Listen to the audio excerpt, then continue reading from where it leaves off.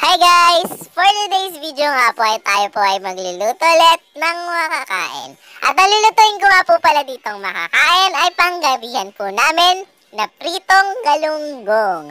So yun nga po, dito nga po ay binudburan ko po siya ng asin. At syempre, dating gawin, pag mainit na po ang kawali, ilagyan po ng mantiga at isa-isa na po siyang i-drop. Actually, ito pong galunggong ay isa po sa pinaka-paborito kong isda. As in, pinaka-paborito. Number one, top list na paborito kong galunggong. Pritong galunggong. At kapag kumakain nga po ako neto, syempre may kasama po siyang ah, kamatis at ng sibuyas. At may kasama pa pong toyo. At yung kanin ko nga po dito ay malamig at ang sarap pong kumain nito kapag nagkakamay ka po.